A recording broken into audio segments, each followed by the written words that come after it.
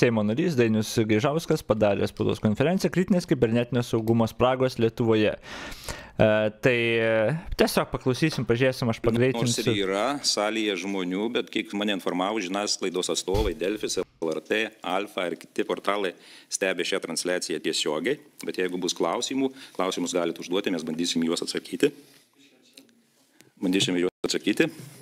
Taip, iš karto prisistatau, tai esu Dainius Gaižauskas, Lietuvos valstiečių žaliųjų sąjungos frakcijos narys, Nacionalinio saugumo gynybos komiteto pirmininko pavaduotojas.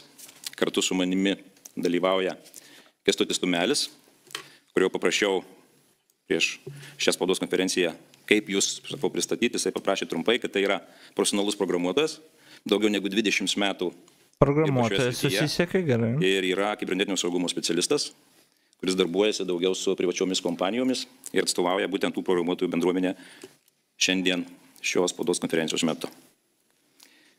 Iš ties labai džiaugiuosi, kad ši spaudos konferencija, matau, vyksta ir įvyko, nes iš ties iki paskutinės dienos dar vakar aš nežinojau, ar jinai tikrai įvyks, nes tikrai laukia patvirtinimo būtent tų pačių programuotojų.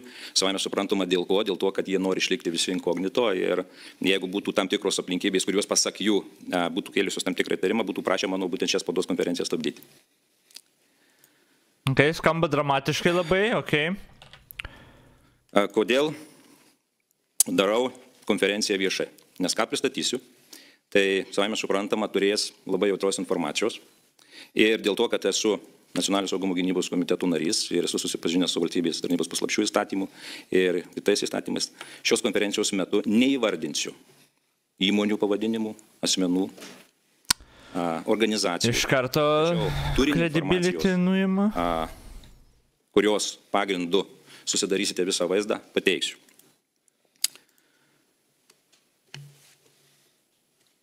Kad būtų visiems aišku e, ir žmogiška kalba, pristatysiu visas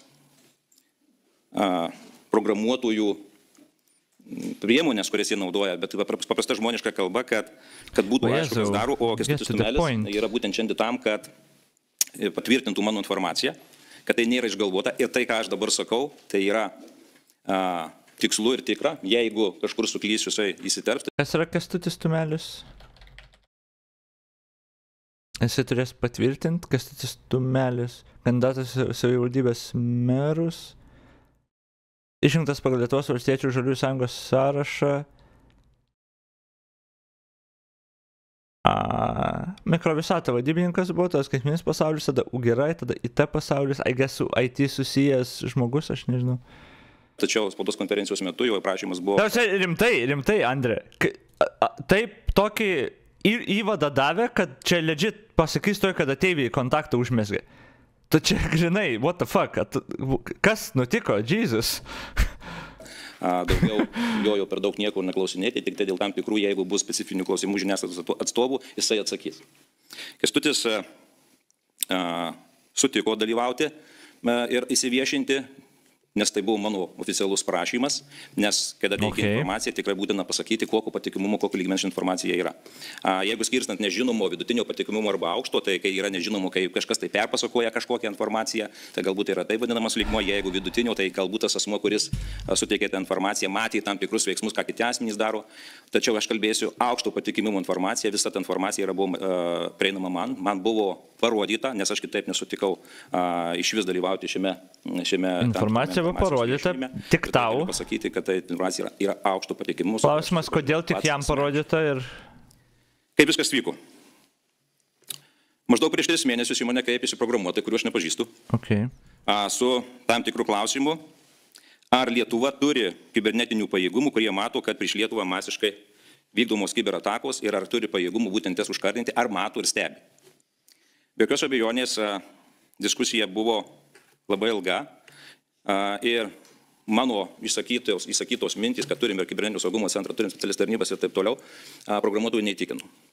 A, Jie per tuos kelius mėnesius man pateikė informacijos ne tik tai tam tikras nutekintos informacijos atkarpas, bet ir visą sistemą bei, bei kur jinai laikoma. Jeigu Tai lygus parodė, kad yra lygai. Daugiau tai kalbam apie juodą internetą, kuriame... Ok, truputį išpauzinu. Tai visų pirma, e, kad Lietuvoje yra Aisen SGK pavaduotojas, ai, nu, I guess, jam gali kreiptis. Ok, anyway, čia yra, tipo, kodėl jam kreipės. E, kai uždavė klausimą, ar yra pajėgos, kurios gali matyti tos, e, nu, nežinau, saugumo spragas ar whatever, kaip ten išsireiškia. Kad yra institucijos ir kad yra žmonės, kurie, nu, tipo, tą funkciją atlieka, tai garantuotai yra kokios jų kompetencijos ir ar jie labai geri, va čia yra klausimas. Nes techniškai, koks geras ekspertas ar eisi valdišką kažkokią darbą ar įmonę. Ir aš asiminu, tai, nu, jeigu man reiktų spėti, aš sakyčiau, kad gan prasta situacija turėtų būti. Iš, kaip čia, nu, iš, iš kompetencijų pusės tiesiog žiūrint. Tai jeigu man reiktų spėti, aš nežinau nei kiek žmonių dirba ten, nei kiek iš tikrųjų žmonių būtų atsakingi už tą, nei kokia situacija yra. Bet jeigu reiktų spėti, na ir kiek aš susidūręs ir girdėjęs apie tas visas teisėsaugas ir panašiai, IT, nu, su technologijom mažai sutarė. Ten jeigu pagal IP nesugeba kažkaip bent žmogaus pasiekti, ar, nu, nu tiek sugeba įgės, bet ten ne, gal aukščiausi, žinai, tai, nu, tai optimizmo labai nekelia. Ir e, jo, nežinau, kokios čia yra pajėgumas. Dabar kitas dalykas tas, kad lygai, čia aš kaip suprantu, jis kalba apie lygus, jam parodė lygus. A, lygų tai tikrai yra ap, a, apšiai, man atrodo, ir, ir Lietuvoje, ir visur. Man atrodo, nėra pasaulio šalyje ar įmonės, kur ten labai išsisuktų nuo lygų ir panašiai, kalbant apie, e, kaip čia, apie, nu, apie tos valstybinės tokias įmonės. Aš prisimenu, dabar Aš nesakau, kad aš turėjau, gerai, aš nesakau, kad aš turėjau, bet kai aš buvau vaikas, vapšė, kai tik internetą e, įsivedėm namie, prisimenu, buvo internete labai lengvai parsisiųsti. E, nepamenu, ar ten buvo Klaipėdos, man atrodo, ten buvo Klaipėdos. E, policijos duombazė. Su visais tos, nu, ta programa, kurie naudojo, pavyzdžiui, paieškai kur gali surasti pagal vardą, pavardę ar asmens kodą, arba ten žmogų ir ten matydavai jo žmonos asmens kodą, telefoną, viską, vaikus ir panašiai. Nu, tiesiog tą, tą sistemą, kurie tada ten tiesiog patruliai, aiges mašinose naudodavo ten. Tai aš prisimenu tą labai gerai, nes ta informacija buvo prieinama. Nepamenu, iš kurių ten metų ta info buvo, bet lykas buvo ir visi apie tą žinojo. Nu, gal ne visi apie tą žinojo, bet labai lengvai prieinamas buvo. Ir čia... Tai ir prisimenu vėlgi, aš neskau, kad aš turėjau. Bet prisimenu tokių situacijų, kur kažkas interne, internete raganėja ir e, žmogus, e, vėlgi, ne aš, įvedi jo ten vardą ar pavardę ir tu jam parašai ten ir jo adresą, ir jo tėvus, ir e, jo tėvų tėvus, senelius, nu visą genealoginį medį ir jisai apsišyka, žinai, galvoja, okei, okay, užsirovė čia ant didžiausio hakerių planetų, žinai. O iš tikrųjų tai tiesiog buvo nulykinta duomenų bazė ta visa. Tai Jo, vėlgi, aš neskau, kad aš turėjau, aš tik girdėjau istorijas, gerai. Ir tai šitą iš karto galim pamiršti, kad mes esame visiškai šimtų procentų saugus, ar kad mūsų profesionalai dirba dieną naktį 150 milijonų, e, kaip čia svetainių tikrina kasdieną, kas kuris įlaužia ir panašiai. Tai viso, visiškai tą galim pamiršti. Dar ką galim pamiršti, kad e, yra bet kokia pasaulio šalyje ir kad tą iš tikrųjų galima užtikrintą saugumą. Nes aš iš karto įsijungiau, kas prisimena Stuxnetą? Čia turbūt vienas labiausiai toks cautionary tale, kad niekas nėra saugus. Stuxnetas tai buvo kirminas, kurį dešimtais metais atrado uh, brandolinės, jo, brandolinės, ten stotyse brandolinės energijos ten kažkaip, kaip sabotažo reikalas buvo padarytas. Dabar ten kas įsikūrė, aš net nepamenu, buvo tipo Amerika liktais kartu su Allies, ten kad, žodžiu, nežinau, su Izraeliu kartu, jo, kad Irano ten nuklear programą kažkaip sabotuot arba bent jau monitorint. Žodžiu, tie vadinami Zero Days, jie, man atrodo, egzistuoja labai daug kur. Tai žiauriai naivu būtų tikėtis, kad mes esam tiesiog žiauriai gerą e, kibernetinį, žinai, saugumą turim ir jo, jie už valdišką algą eis geri profesionalai ir gins Lietuvą nuo... Ne, tiesiog aš neturiu tokių iliuzijų, man atrodo, taip tikrai nėra. Dabar ar visiškai beviltiška? Greičiausiai ne. Bet greičiausiai tikrai ir finansų trūksta, trūksta ir kvalifikacijų, ir profesionalų, tai čia be klausimo. Ir net jeigu jie būtų, gal jie kažkaip ir užtikrintų bent kažkiek tokių valstybinių institucijų grinai saugumą duomenų. Bet net apskritai duomenų. Pavyzdžiui, Kataūnas, kai buvo nulaužtas ten, ar ten šiaip kokia įmonė, jas, man atrodo, laužės ir laužė forever. Ir iš kurių realiai daug jų gali greičiausiai gauti gan panašių duomenų negu kad iš lietuvių tų institucijų. Tai vėlgi, reikia suprasti, kas yra internetas, kaip jis veikia ir kad apie ką, aš nežinau, apie ką aš čia toliau kalbės, bet tai, kad yra duombazės nulykintos, jos visą laiką buvo nulykintos.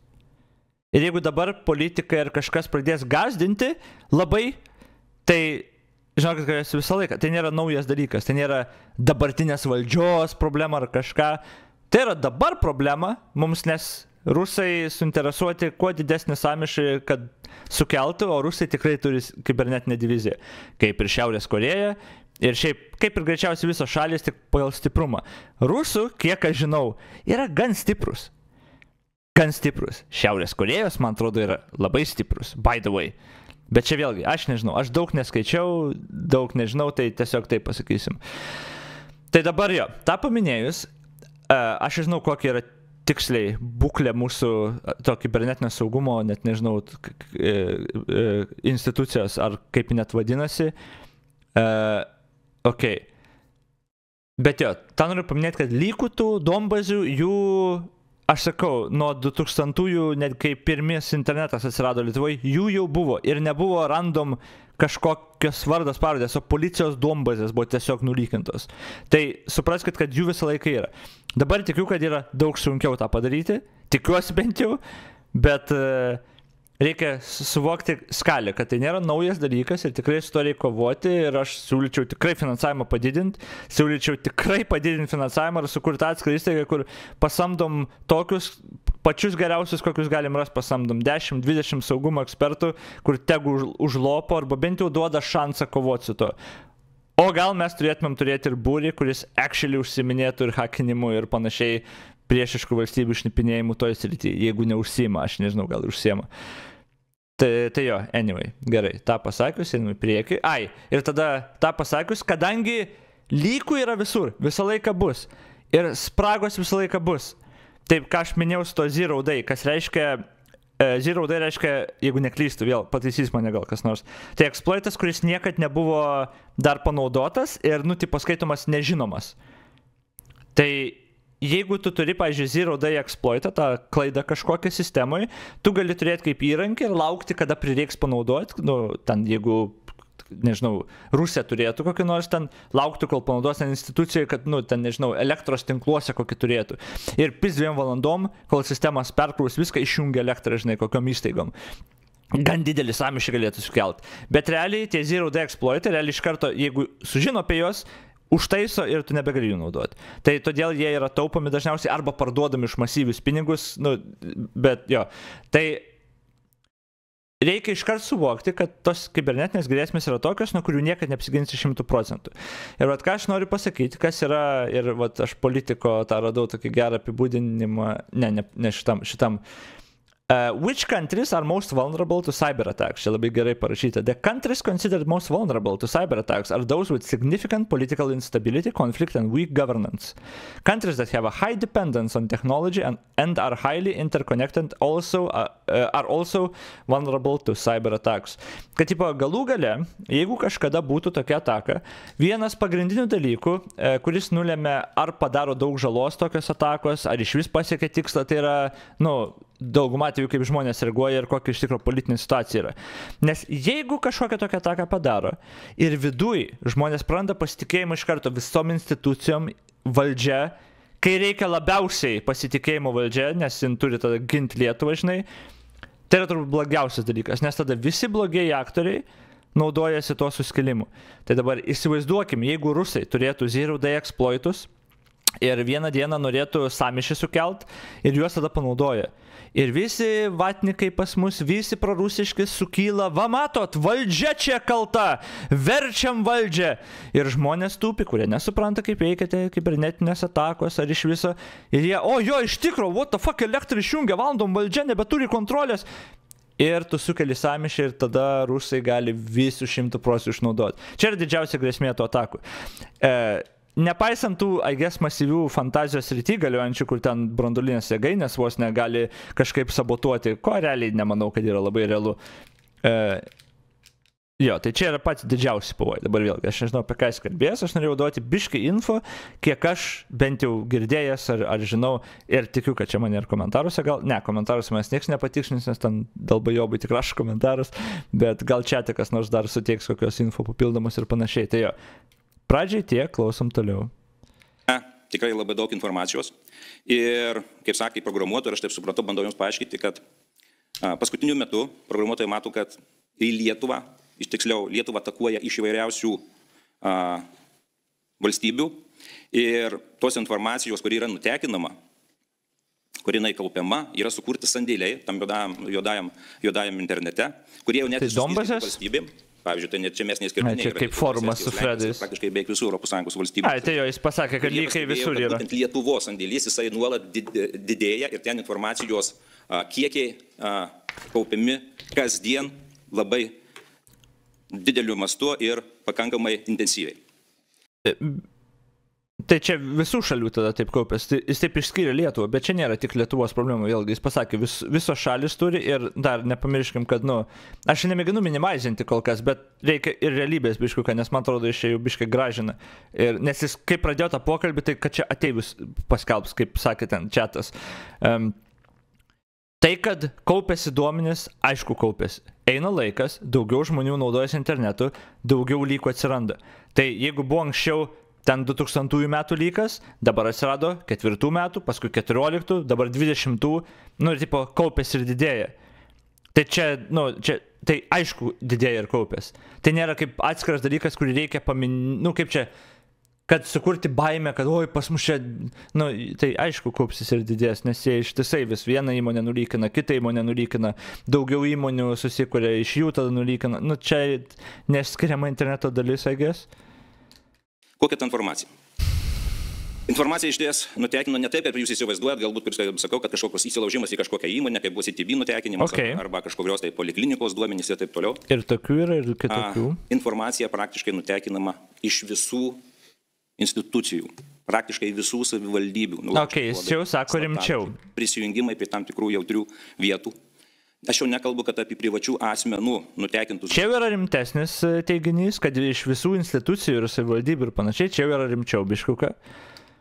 E, dabar, I guess gerai taip, kad dabar labai daug kur tu turi prisijunginėti su dvigubo autentifikacija kažkokia, arba ten Smart ID, ar, ar, ar autentifikatorium, ar ten kažkuo. Tai bent jau tiek, nu, gal hiperbolizuoja, kad iš visų, bet nu, supraskim, kad turbūt daugumos bent jau. E, kas turbūt yra įmanoma, bet būtų negerai. Tai jo, bet nu, tai, kad duomenys nutekino, čia klausimas. E, dažniausiai tos duombazės būna su enkriptintais duomenim užkoduotais. Aš tikrai tikiuosi, kad taip yra. Ten yra visokių niuansų, bet tai net jeigu nutekino kažkokią informaciją, labai retai kada būna, tipo, žiauriai naudingos informacijos, kur gali panaudoti Tai čia irgi vat, klausimas, kokią tą informaciją gavo. Bet e, dažnai būna, kad jeigu tu vieną duombazę nutekini, kur yra vardai pavardės, pavyzdžiui, telefonai, tada gal kitą duombazę, kur telefonai ir kokią nors sąskaitą, tu gali cross-checkus padaryti ir per keletą tų duombazių ir tada tu pagal vardą pavardę arba sąskaitą arba telefoną, nu pagal vieną rodiklį, tu gali daug daugiau informacijos gauti, jeigu jau čia advanced tipo labai stengiasi tą padaryti. Duomenys, susirašinėjimus, asmens kodus, slaptažodžius, prisijungimus prie paštų, ten yra viskas sudėliota. Nutekinimai yra ir iš ministerijų, iš kritinės infrastruktūros. Kai kuri informacija, kurią aš, okay. aš pamačiau, aš iš ties labai nustebau, nes ne, maniau, kad būtent tos ryties informacija, kuri yra, a, negali būti įsilaužima. Čia skamba blogiau. Tačiau ten yra. Pakartosiu, tai yra jau nutekinta kažkieno tai įsilaužimo būdų informacija, kuri sandėliuojama ir sandėliuojama labai kruopšiai, dėliojama į tam tikras vietas. Tai kodėl nieko nedaro, kokius sprendimus mes septynias minutės praklausėm spaudos konferencijos, tai chill, taigi kalba. Coding Planet, uh, tai tu nesakyk, ką jisai kalbės, nes aš žiūriu video pala.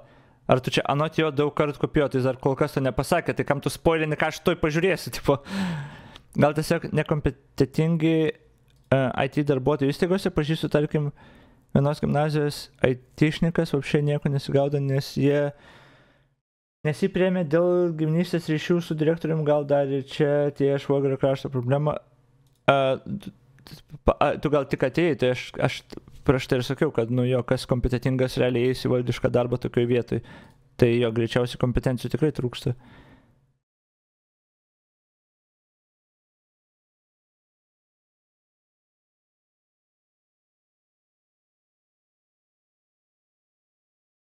Ai, aš net nemačiau eilutės apie bačiulį, aš nežinau, kas yra bačiulis, bet neklausau jo.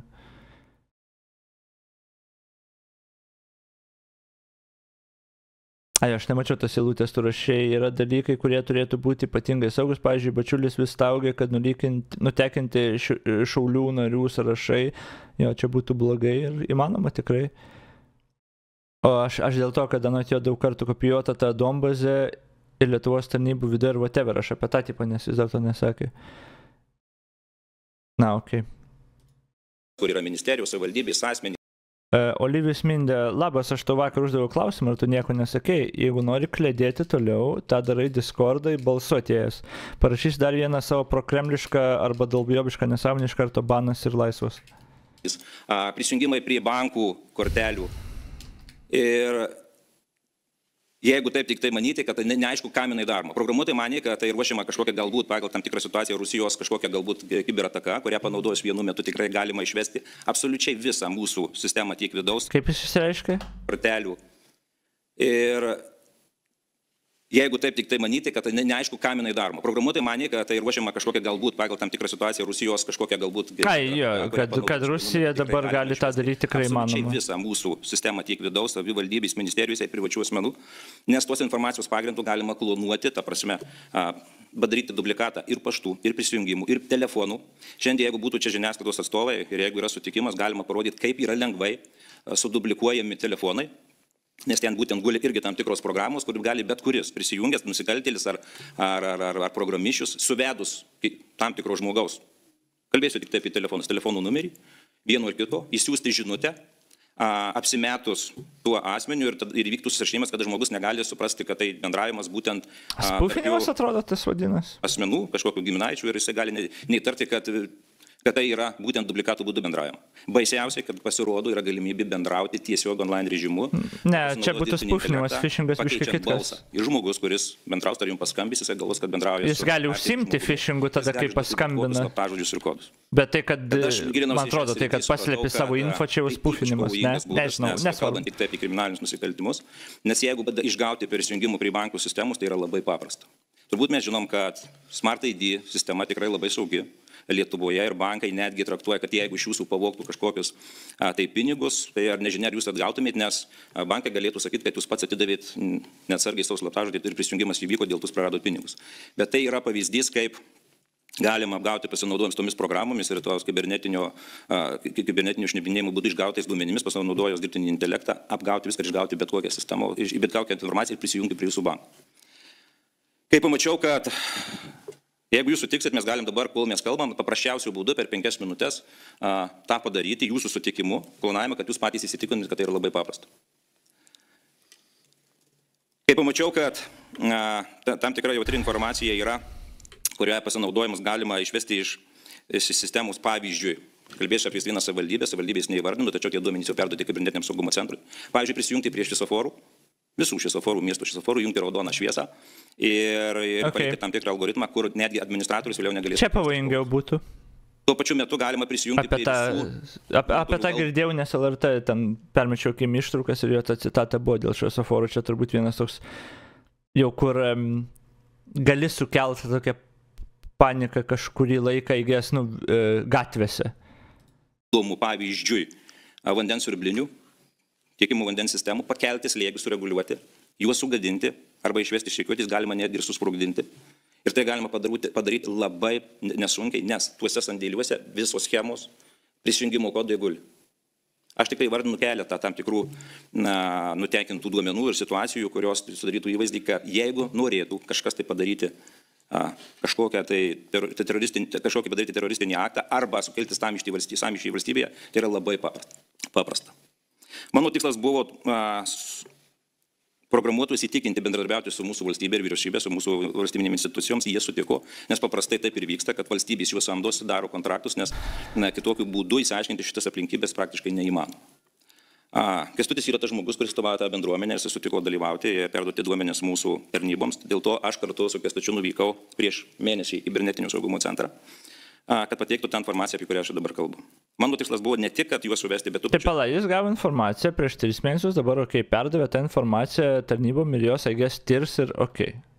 Okay. okay. Stebėti, kiek kibernetinio centro atstovai turi informacijos, ar ta kestučio pateikiama informacija jiems yra žinoma jautri, kaip veikia pas mus sistema. Dabar, dabar matot, jo, mes nežinom, kuri savivaldybė, gali būti, kad Vilnius, kas būtų blogai, gali būti, kad, žinai, Tauragės rajono nu, su populiacija tūkstančių savivaldybė, nes jinai pataupė ant e, softo šviesoforų ir ten legit trys šviesoforai ir, nu, čia, tai mes tiesiog nežinom, agės, nes jis nesakė, tai va čia neaišku, kokia skalė. Bet kaip bebūtų, uh, nu, reik, I guess, reik užtaisyti ir taip, bet mes tiesiog nežinom, kokia čia skalė tų va, dalykų.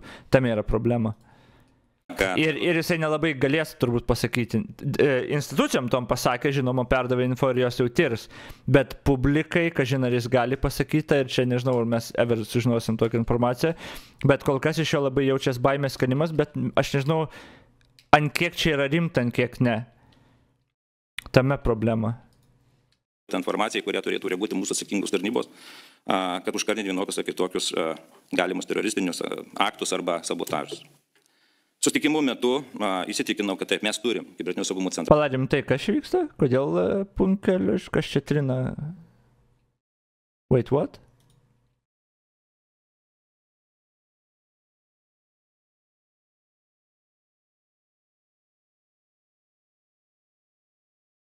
Pala, nesupratau. Kas čia atsitiko su žinutėm? Ir Laurino žinutė, ir tada punkelio trys žinutės. Ka kažkas čia misklikino, ar aš net nežinau. A, jie patys trina? Ai. Okay. Mes turim specialistus, tačiau tą, ką pateikė Kestutis. Ir tas vietas, kurio galima būtų sandėliuoti, kur kibernetinė ataka. Jiems nebuvo žinoma. Stebėdamas diskusiją mačiau, kad Kestutis teikia daugiau informacijos negu jiems patiems. A, jinai buvo anksčiau prieinama. Ir prieėjom išvados, kad kibernetinio saugumo centro vadovas sutiko su tą aplinkybę. Kad... Guys, hakeriai atakuoja jau. Hakeriai jau atakuoja. Cenzuruoja Landsbergis true. Gerai, žiūrim toliau. Aš atsuksiu 10 sekundžių, kiek aš čia praklausiau. Okay. Informacijos negu jiems patiems jinai buvo anksčiau prieinama. Ir prieėjom išvados, kad kibernetinio saugumo centro vadovas sutiko su tą aplinkybę, apie kurią kalbėjom, kad jeigu, pavyzdžiui, per vieną naktį galėtų Rusija kur keliam grėsmę padaryti kibernetinę ataką, kur išvestų absoliučiai visų mūsų sistemas, remiantis tą informaciją, kurią teikia Kestutis, jis pritarė, kad taip, per vieną dieną galima išvesti mūsų valdybėse, tiek ministerijose visas sistemas, sukelti net tik paniką, nulaužti žmonių kodas, pavokti tam tikrus pinigus iš bankų, įsiųsti tam tikras žinutės, kad sukiršinti bendruomenės, pakeitus tam tikrus, ar apsinaudos kibernetinio, saugumo, kibernetinio šnipinėjimo programą ir dirbtinio intelektų, panaudos tam tikrą balsą, pavyzdžiui, migrantų migrantams, kurie yra dabar atvykę į Lietuvą iš mūsų migracijos departamento apsimetus migracijos vadovų, vadovės asmenių žodžiu pasiūti tam tikrą žinutę, kurie supriešintų. Žodžiu mes priėmėm sprendimą, kad taip, sistema yra nekontroliuojama ir valstybėje nieko negali padaryti, nes šiai dienai, ką mes galime, tai kibernetinio saugumo centras pagal mūsų egzistuojančią politiką fokusuojasi į kritinio tinklo apsaugą ir strateginių objektų apsaugą. Visa ta kitas rytis arba kita, na, kitas laukas yra neapsaugotas. Kalbėjomės, kalbė, kalbėdamiesi būtent kibernetinio saugumo centre, priėmėm sprendimą arba susitarimą, kad būtent šie programuotojai sutinka bendradarbiauti su Lietuva ir apsikeitę duomenimis, jie turėjo tai padaryti. Tačiau man toliau su jais bendraujant pastebėjau, kad vis dėlto viskas vyksta labai vangiai ir būtent programuotojai man kėlė vėl tam tikrus klausimus, kodėl valstybė. Pa, čia sakė prieš ne, tris mėnesius. Nieko nedaro, ne, negali, negali užkardyti tam tikrų duomenų, kurie yra nutenkinti, nes tai yra pavojinga. Kai aš paklausiu, ką turi to Pala, man čia irgi įdomu, jeigu jam, pala, jis liktai sakė, prieš tris mėnesius susisiekė, o dabar sako, kad, ar taip sakė? Tai pala, ką būtų spėję padaryti per tiek laiko, jeigu ten, nu, ir kvalifikacijų ir panašiai net trūksta kažkaip, nu, aš, aš nežinau, ką jie, ar čia realu būtų, nu, agės tam tikrom spragom, bet jeigu jis atsako gal. Meni, tai pavyzdžiui pasakė, kad turi keli mėnesiai guli praktiškai visų žiniasklaidos priemonių nutekinti kodais slaptažodžiai. Tai ta prasme, ką jie gali padaryti, jeigu jau nutekinti yra? Inkognito atstovai, susirašinėjimai galima prisijungti prie jų. Na, jeigu jau nutekinta, tai nieko ir nepadarysi jau. Bet ir, bet ir valdyti jų, jų galima. e, Ar dabar gali nutekinti naujus, tai pačia klausimas būtų. A, yra nutekinti ir pateikti duomenys, kai praktiškai, neįvardysiu pavadinimų, visų, vienos partijos visi serveriai. Ir jie mato visus paštus susirašinėjimus ir gali padaryti, pavyzdžiui, prieš rinkimus tam tikrą kibernetinę ataką. Ir... Pala, pala, pala. Ar jie mato visus paštus, ar ir susirašinėjimus? Jie mato žinutės? Čia būtų wild claimas. Ar, ar čia vidinių jų... Ar, ar jie čia kalba apie vidinį elektroninio pašto serverį? Ką jis, ką jis čia tik pasakė? Ką jis čia konkrečiai turėjo menį? Ar tiesiog tai, kad mato paštus ir tada, kad kažkas kažkam siuntė, bet turinio nemato? Niekas tavęs neklausė, Mindė, tu klėdi. Nustok rašyti komentarus visų pirma, aš tau aiškiai pasakiau, iš tavęs komentarų nereiktų. Vakar sakai, kad siautų, e, siautų e, vesina, kaip tu ten pasakai aplinką, tai seniai gali nieko net nerašyti. Viską jie mato, nu, ir, ir mūsų mamas mato viską. Tai jo, aš nežinau, tai ir ir klausimas, ką jie gali padaryti dėl palygintų dombazių. Klausimas tada, ar užtaisė tas spragas, kad iš naujo negalėtų palinkinti. Bet jis ne tą klausimą kelia. Aš nežinau, ar jis specialiai čia taip kalba, ar ne, gali toliau. Pakeisti tiek Facebook'uose arba tinklalapiuose jų, jų logotipus į, pavyzdžiui, Rusijos ir taip toliau. Pateikė duomenys, kad Čia jie vadina tai labai nesudėtinga informacija, kuri yra nutekinta per tamo dienyną virš 120 tūkstančių vaikų duomenų. Vaikų. Tai yra vardai, pavardės, gimimo metai, prisijungimai prie pašto. Dabar žiūrėk, žiūrėk. Tai jis turi minį, jog pavogė prisijungimus ir taip mato elektroninio pašto dėžučių laiškus. Vien prisijungimus, va aš tau duosiu savo, tuštuma at gmail.com. Čia yra mano prisijungimas. Ką, ką jį matysi, ką, ką jį turėdamas matysi? Ne, aš... Jis to nepasakė, jis pasakė, jo mato prisijungimus, tai nereiškia, kad mato laiškus, laiškų turinį. Ir tai kaip pasakė susirašinėjimus, ką jis turi minėti, kad laiškų turinį mato, ar kuris prisijungimas, kuriam prisijungimui, pažiūrėjau, siuntė laišką, o ne laiškų turinį. Nes čia yra vėlgi skirtingi dalykai. Nes labai dažnai prisijungimai nebūna encryptent, bet slaptažodžiai, pažiūrėjau, būna užkoduoti arba pačios žinutės. Bent jau taip turėtų būti. Tai yra labai klausimas, o jisai ką sako, gali interpretuoti kaip tik nori. Jeigu nori baimę kelt, gali vienaip interpretuoti, jeigu nenori, gali kitaip.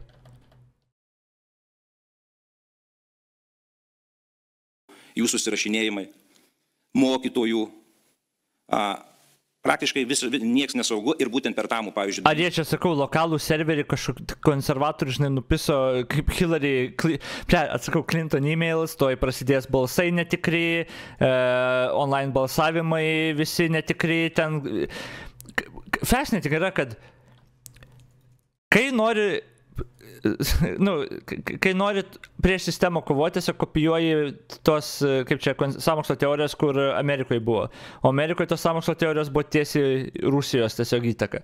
Tas samokslo teorijas kūrė, kūrė kad padalint šalį, nu, kad, jo, o, ir, o dabar Lietuvoje prašai tos pačios pareina, sakau, čia amazing yra. Na, prieiti prie švietimo ministerijos ir nueiti vėliau į, į tą kritinę mūsų infrastruktūrą ir te palikus tam tikrus pėdsakus, nepalikus tam tikrus pėdsakus, jie išvesti iš, iš rikiuotės. Tai galiu pabrėžti, kad kibernetinė Nežinau, ar jie kokią naudoja. Bet žinant jų pajėgumus, matomai, matomai užkardyti visko negali. Juolab, kaip ir man patvirtino programuotojai, kad bandydami kibernetinio saugumo centro darbuotojai jungtis prie tam tikrų, kaip aš vadinu, sandėlių arba tam tikrų vietų, kur jau guli nutekinta informacija, be jų pagalbos vis dėlto jiems to padaryti nepavyksta. Tai man tik tai sudarė, dar, dar sėk įsitikinau, kad informacija, kurie jie teikia, jinai yra tikra, bet vis tiek tai yra valstybės neįgalumas užkardyti visą tai šiuo metu turime pasiūlyti. Tai kompetencijų trūksta, net nesiginčiau. Jo, tą reiktų tada spręsti ir investuoti daugiau. Agri. Viešinti. Nekartą visi minėjo nacionalinio saugumo gynybos komitete, kad yra tokių duomenų. Tačiau tai buvo vangiai mano kolegų sureaguota. Taip, sako, problema, bet mačiau, kad nesuvokia mastų. Be jokios abejonės tą informaciją esu jau pateikęs ir a, valstybės saugumo departamentui, kuris taip pat pripažįsta juodo interneto grėsmės, tačiau mat, e, tiek, kiek teikia valstybė resursų, pinigų, yra ne, nepakankama. Ir jeigu būtų daroma tam... Aš čia turbūt pritarsiu. Manau, kad mes šios šiai dienai net laikytume. Be jokios abejonės už visą kibernetinio Lietuvos kibernetinį Lietuvos Kad reiktų daugiau skirti, tai yra, kas liečia žvalgybos e, institucijos kibernetinio saugumo centras, turime sapirtinį departamentą prie krašto apsaugos ministerijos, bet manau, kad šiai dienai mes Lietuva yra neįgali arba negalime su tokiais pajėgumais, kuriuos dabar turime, tos, to, to, to, tos, tą grėsmę užkardinti. Ar yra norinčių pabandyti tą programėlę, kuri jums, ką aš dabar sakau, jums įrodytų, kad vis dėlto yra labai paprasta užvaldyti ir jūs net nes, nes nesuprasit, atrodytų, kad jūs susirašinėjote, o jūsų telefonas buvo klonuotas. Jeigu po, po, po, po, po mūsų spados konferencijos mes tai galėsime parodyti ir tai įrodyti jums. Matydamas, kad a, vis dėlto mm, tas būdas, su kuriuo bendrauju su, būtent su programuotojas, jisai daug, daug rezultatų neduoda. Aš ir dėl to aš prašiau jų, kad vis dėlto eisiu į viešumą. Ir jos tikslas yra tas, kad apie tai turi žinoti žmonės, žiniasklaida, visuomenė ir tie politikai, kurie priminė sprendimus. Dėl to mano bus siūlymas, kad naujos sesijos metu a, sudaryti specialią komisiją, a, kad į kurią būtų įtraukta kuo daugiau mūsų Seimo kolegų iš skirtingų partijų, turinčių okay. leidimus dirbti su įslapintą informaciją, nes programuotojus pavyko įtikinti, kad jie parodys ne tik taip mechanizmus būdus, bet ir parodys tuos sandėlius ir kokio jautrumo informacija ten guli, kad okay. galėtume na, pajungti valstybės pajėgumus ir lėšas būtent užkardant šias, šias grėsmės. Ok, fair enough. Čia Kai aš už. Gavau sutikimą, programuotojai man pateikė informaciją, kurie galutinai mane įtikino vis dėlto išėti į viešumą ir imtis skubių veiksmų. Dabar kalbėsiu apie pačią treusią dalį ir svarbiausia, ko gero, daugiausiai duominančią, kalbėsiu apie rinkimų sistemą. Oh. okay. uh, Programuotojai. Tas Landsbergis. To, kai buvo paskeltas oficialiai parašų rinkimas internetu, jie pastebėjo, kad šitą turiu pasakyti, Tėvinės sąjungos, tai yra konservatorių partijos atstovė Ingrida Šimonytė, pradėjo rinkti labai greitai didelį kiekį parašų. Kai man pradėjo kelti klausimą, ar, ar mums tai nesukelia įtarimų, aš pasakiau, kad gal taip, gal jų bendruomenė labai aktyvi, galbūt taip ir turi būti, gal, gal tai ir, ir, ir, ir normalu, nes panašu, kad tai buvo ir praeitą kartą. Žinot, kas, žinot, kas geriausia yra, kad Šimonytė surinko palankiausia Rusijai, žinai. Rusija daro ataką. Galimai, tipo, Rusija daro ataką. Pasitelkia ar botus, ar ne, ką tu esi sakys, e, fake parašus, whatever. Ir šimonytį parašų. Nes šimonytį reikia parašų, žinai. Ne vėgeliai kokiam ten, ne vaitkui, ne tutkui, ten, nu gal ne tutkus čia būtų, bet ne tiem, žinai, prorusiškiam, kur sako, kad su kaimynės reikia tartis, bet šimonytį reikia. Nes va tiems tai grinai trūksta. ok. Dabar dalykas yra tas, kad ar įmanoma? Čia įmanoma. Čia įmanoma. Nes realiai galima iš tos pusės pažiūrėti. Jeigu tu būtum rusų hakeris ir būtum protingas rusų hakeris, ne? Ir dabar tavo misija, kaip visą laiką, yra su, sukelti nepasitikėjimą institucijom tu galbūt ir uždėtum šimonytei ar ten nausėdai, nu tiem, kur dabartiniam, guess. Ir tu tada melstumės, kad pastebėtų tą spragą, žinai. Ir tada žiūrėk, atkastų, kad, o, jie, jiem čia botai. Nu ir tipo, šitaip jais nepasitikėjimą keltum. Įmanoma, guess. Kiek, kiek tikėtina? Čia reikia porą klausimų klausti. Įmanoma? Iš jų, viskas įmanoma. O kiek tikėtina tokie dalykai? Na, okei. Okay. Nu, bet čia tiesiog, čia jau visiškai sapalionės prasties jaučiu. Noriu pasakyti, aš nekaltinu nieko ir nieko nenoriu teikti, kad tai daroma kažkas tai bus su, su, su konservatorių partijos žinia, bet aš perpasakoju, ką man sakė programuotoja, kad jis stebėjo, kad per labai trumpą laiką negalėjo normaliai to bendruomenė surinkti tiek informacijos. Aiškinantis, kodėl jie taip teigia, jie paaiškino, kad būtent iš Kokią bendruomenę surinkti kokią informaciją? tų sandėlių, kur yra nutekinti duomenys žmonių, senyvo amžiaus, lygotų ar ir taip toliau, Aha. galima sudary, su- padaryti netikras anketas, tos vadinamus botus, kurie apsimetę asmenimis gali prisijungti, prieiti prie valdžios vartų ir gavę tam tikras autentifikacijas, apgavę šią sistemą, e, prabalsuoti už tą Kaip gavę autentifikacijas tam tikras? Tik gauna močiutės vardą, pavardę, telefoną, tada skambina tai močiutė, kažkaip apgaulės būdu išvilioja ar ten Smart ID prisijungimą, ar papildomą, ar slaptaždį, ar kažką. Ir tada prisijungia ir... Ir šitai padarė su kiek žmonių per, per tas penkias dienas, kol, ar kiek ten, kol tu tos parašus šimonytė rinko, per tris dienas realiai surinko tą visą skaičių ten ar kiek. Čia apie tokį mes kalbam, apie ką kalbam konkrečiai? Čia jau prasideda visiškai klėdesiai. Čia panašu į visiškai klėdesiai. Vėl, ar įmanoma, kad kažkas čia buvo? Įmanoma. Bet ką iš čia pasakoja, čia net neaišku, net kokioj realybėje tai turėtų iš vis veikti, kaip tai turėtų veikti pagal jį. tam tikrą asmenį. Aš pasakiau, kad ar tai yra tik teorinė galimybė, jie iš ties sako, mes... Tu turi pro kažkur prisijungti, gyti, daug, e, arba pro banką, ar pro kažkur. Dabar ką jisai čia kalba, tai tipo, aš ir klausiu, kaip, kaip padarė tą. Gavo telefoną iš Dombazės kažkokios nulykintos močiutės ar vardą pavardę ir tada kažkaip iš jos ištraukė autentifikaciją, nes jis būtent tą pasakė. Gavo tiesiog, pasakė, kaip. Tai čia, nežinau, O jo, Smart ID, kiek aš žinau, gan sunku nulaužti, bet kaip bebūtų, nu, bet kur. Ne, vakar pusėje Europos, man atrodo, neveikia ten ir Facebookas ir tas ten, tai netau vienam. Mes, jeigu klausėme, tai mes matome ir žinome, ir mane įspėja, ir toliau tęsiant man pokalbį, man tada uždavė kontraklausimą, kuris tikrai gali sukelti bet kokį įtarimą. Klausimas uždavė, kodėl Čimonytė sustabdė parašų rinkimą. Šiaip rinkimą Nu, nesakė, nenori tęsti online, nes apšiai yra lamanti, nenori dabar lenktyniauti, surinko ten beveik 35, kiek ten e, parašų ir tiek. Ir liktais taip pasakė, kad sustabdė, aš ne, nežinau tiksliai. parašų nesibaigęs. Jeigu renka žmonės, balsuoja ir taip toliau, tai nekainuoja nei vienai partijai tam papildomų lėšų ir pinigų. Jo, bet čia jos apsisprendimas, jeigu nenori lenktyniauti ir rinkti, surinko kiek reikia ir sustabdė. Ar, ko, o kodėl neturi tęsti, tipo? Jeigu mes keliam klausimą, kodėl sustabdė, galim kelti klausimą ir kodėl turi tęsti. Tačiau Čimonytė vienintelis sus Pavyzdžiui, gerai, man atrodo, man logiškesnis atsakymas būtų iš strateginės pusės. Dabar, ar tu nori toliau agituoti, kad pasirašinėkit ir mėnesio gale lenktyniauti su žmonėm, kad galėtum parodyti, važiuokit, aš daugiausiai parašų surinkau, arba tu gali labai greitai surinkus didelį skaičių sustabdyti ir dabar net jeigu kažkas aplenks, tau niekas nepasakys nieko jau. Tu nugalėjai tas lenktynės. Kaip sakant, tu kvitinai čempionas visiškas. O jeigu jin būtų, pažiūrėjau, negitavus, o ten kokie ten žalimai, vaitkai ir panašiai, žinai, būtų agitavę ten labai ir tada surinkę daugiau šimonytę. Ir jie būtų naudoję savo ten e, rinkiminėse kampanijose, mes daugiau parašų negu šimonytę surinkom. Tai netgi iš tos pusės tu tiesiog gali neberinkti ir viskas. O, o ką, o kokią teoriją Gaižauskas čia kelia? Kokią čia samokslo teoriją vėl matom? Kainuoja nei vienai partijai tam papildomų lėšų ir pinigų. Nesvarbu, ar nekainuoja. Tačiau Šimonytė vienintelis sustabdė. Ir Aš vienintelė ir labai daug surinko. Ką jie turi galvoje, kokiu aplinkybių, jie paprasčiausiai man paaiškino, tik arba davė klausimą.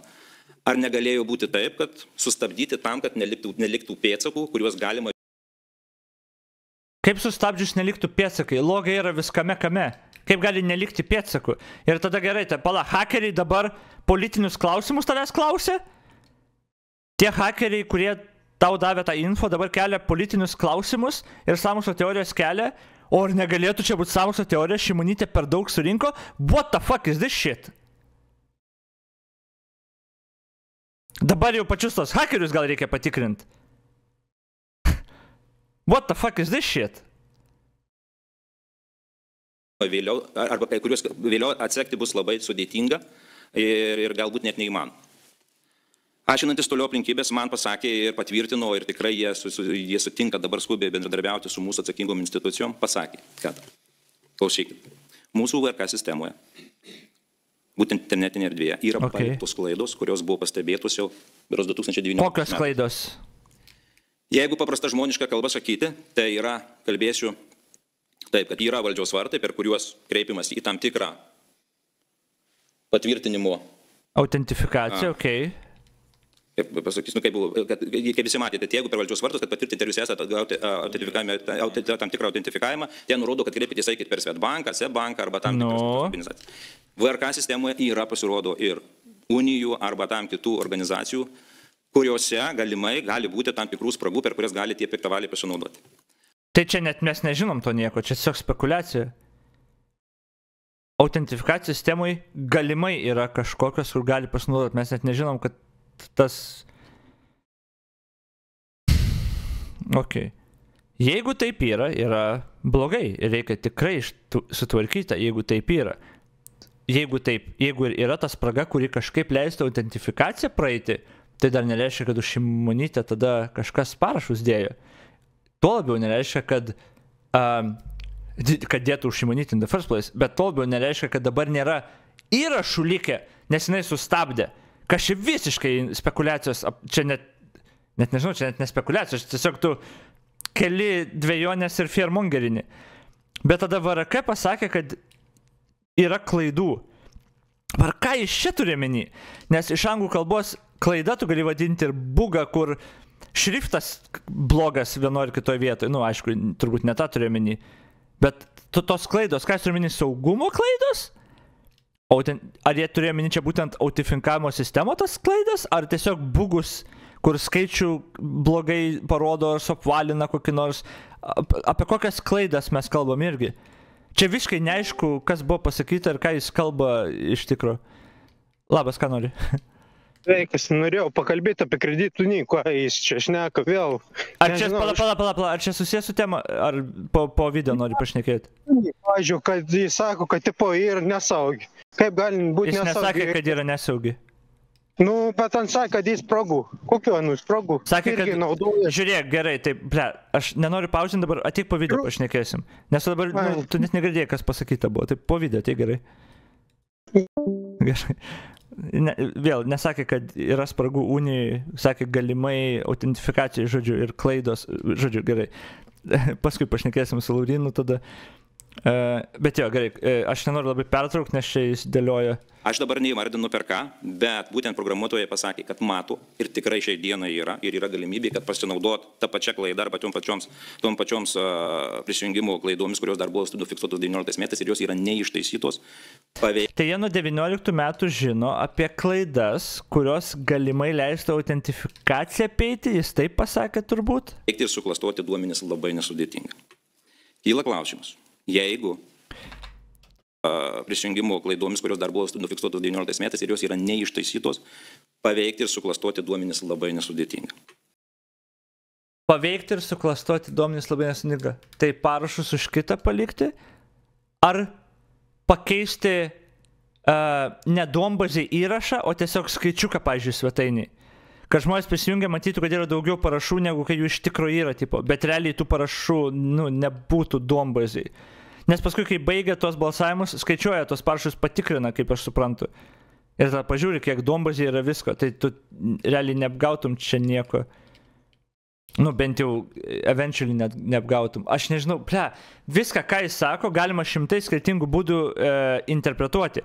Problema yra ta, kad aš juo nepasitikiu visiškai, kai jis dabar jau tiek ilgai firmongerina ir savo samokslo teorijas kūrė. Aš nepasitikiu, kai jis neperdeda dalykų, kur sako. Dabar įsivaizduokit, lygiai tą, ką jis pasakė, galima apibūdinti, pavyzdžiui, mano svetainiai yra bugas, klaida, kur leidžia suklastoti duomenis.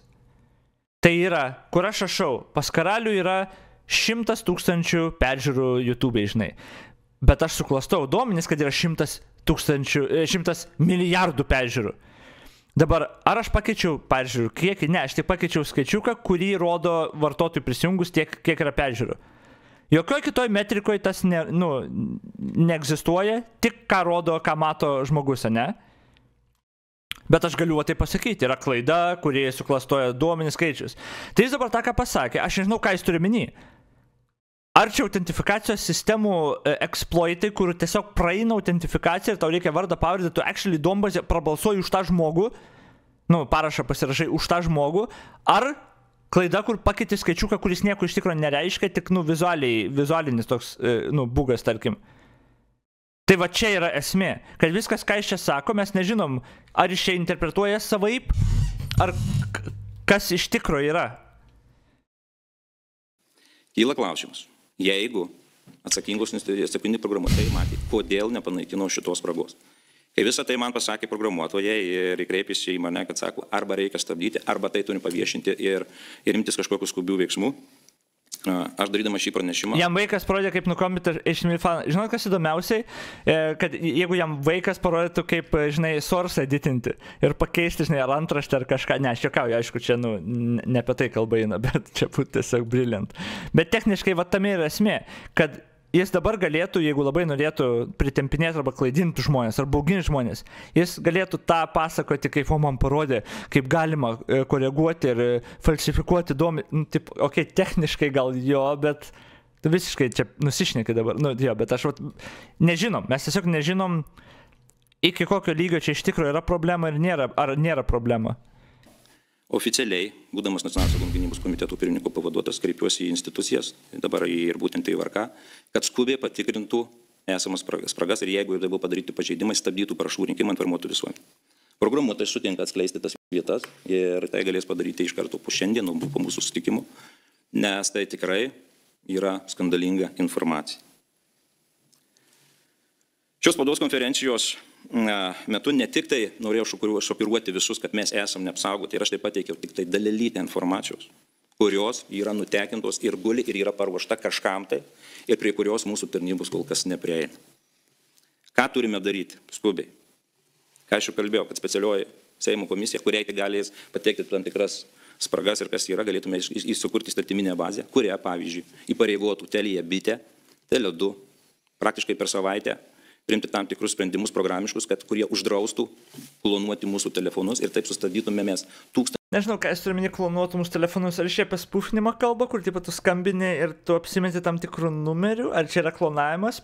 Ar jis kalba apie klonavimą, kur, pažiūrėjau, ateina į tam tikrą numerį žinutę ir jeigu tu esi nusiklonavęs tą telefoną, ateis žinutė ir originalų telefoną, ir tau, nes tu nusiklonavęs?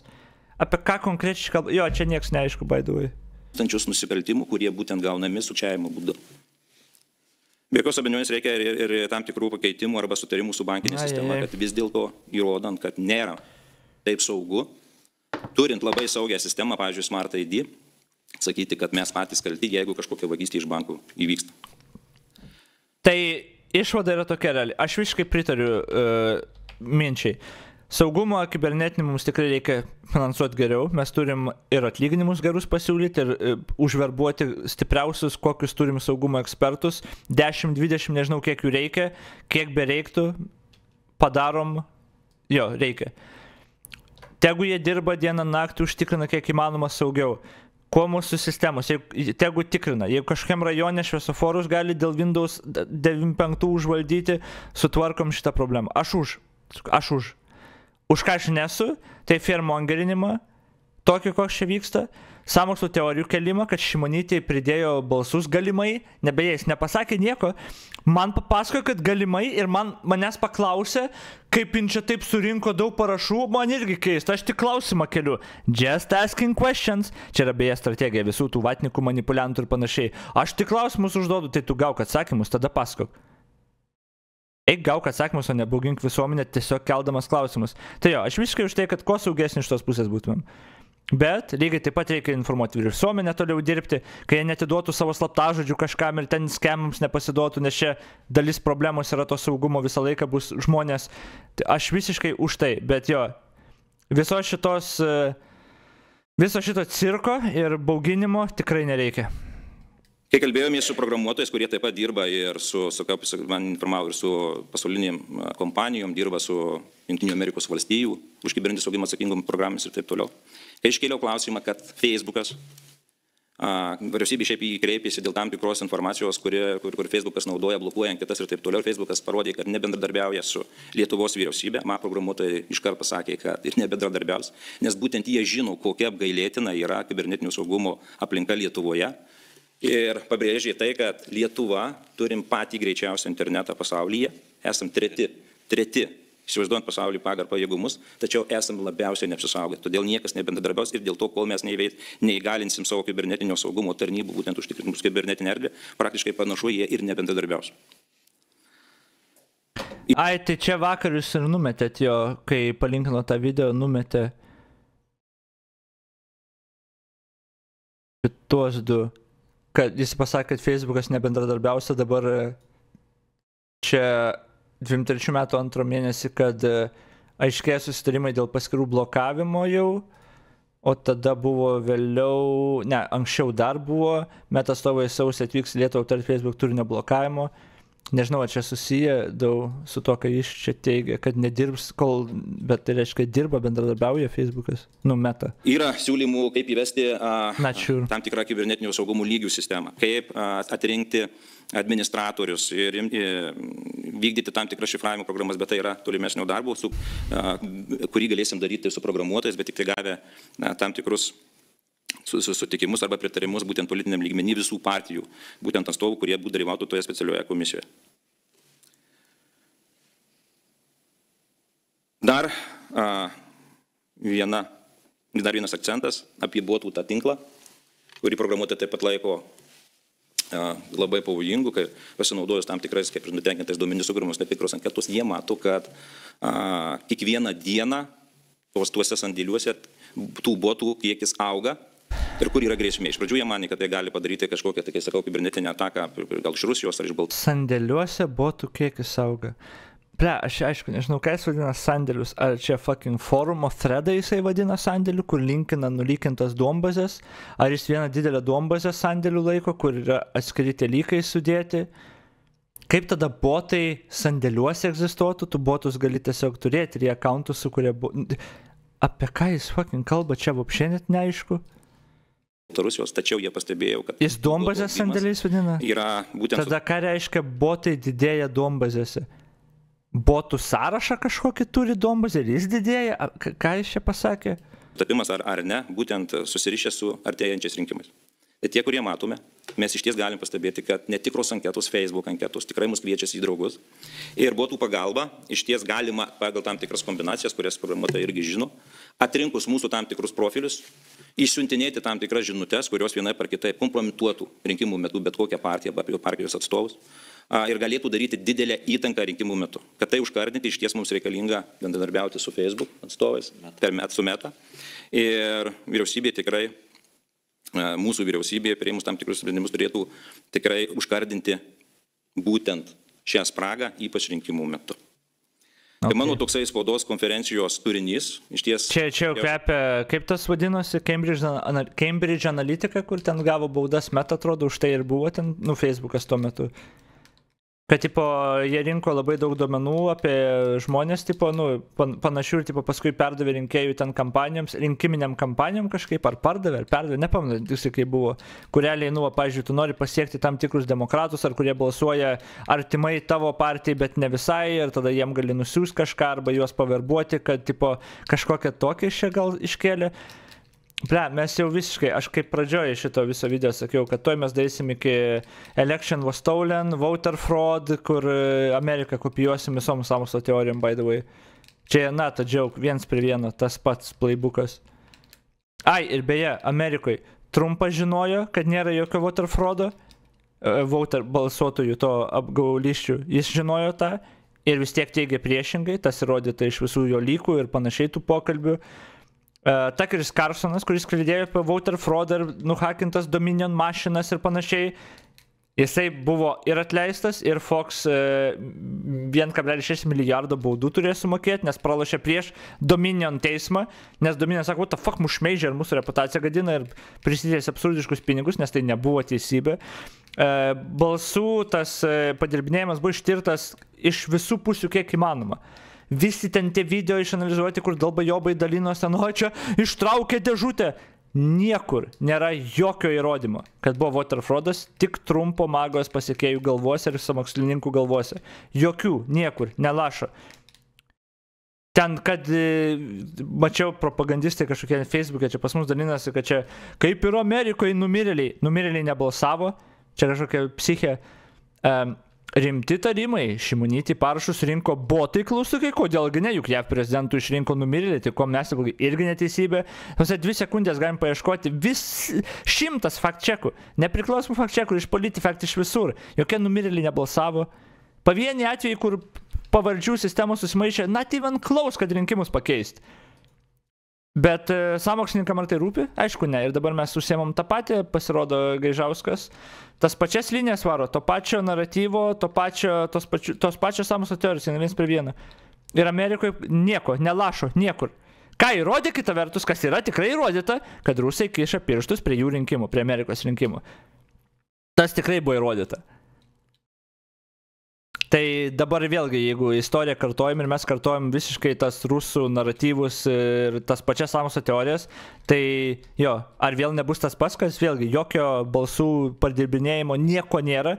Vienintelis realus dalykas tai yra tiesiog pastovus konstanta rusų kišimasis. Karočiui, okei. Okay.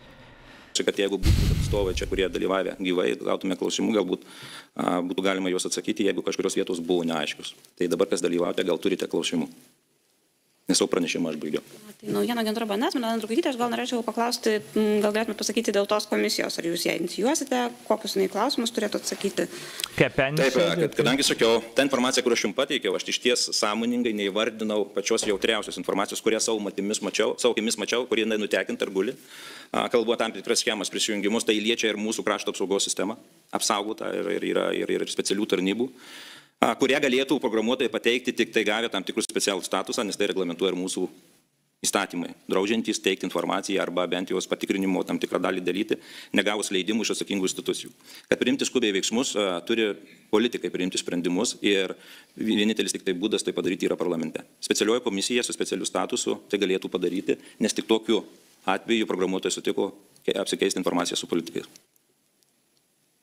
programuotojai. Tai ar jūs inicijuosit, siūlysit, rengsit nutarimo projektą, rengsit parašą? Aš privalau tai daryti, nes toks ir buvo sutarimas būtent programuotojų bendruomenės ir jie tai daro iš patriotinių veiksmų, nes tai yra lietuvių. Labas, linoliumai.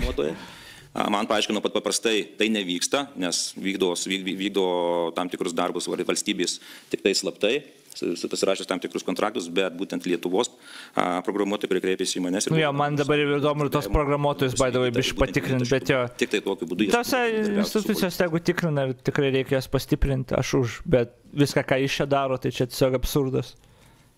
Taip. Dėkuoju.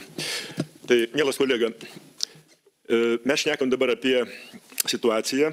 Tai aišku, jisai kalbės dabar. Nerimo bangą. Nes tik ją sukėlė. Bangų mes matome dabar daugybę, pradedant nuo, nuo uh, psichodemijos, nuo to, kada čia mes vienas. Psichodemijos. Jau, jau rytoj čia karas. Dabar vėl Aha. nauja banga ir kurioje vėlgi kyla klausimas, kam tai naudinga, kas to užsiminėja ir ką, ką tai reiškia. Tau ir Kremliui. Aš norėčiau pacituoti.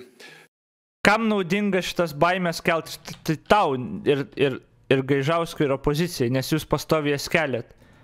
Keliat baimės dėl visko ir spekuliuojat dėl visko ir samoso teorijos keliat, tai jums naudinga, nes jūs tą darot. Apie ką mes kalbam, blėt? I don't know. Šiandien ir jau ne pirmą kartą užpisa?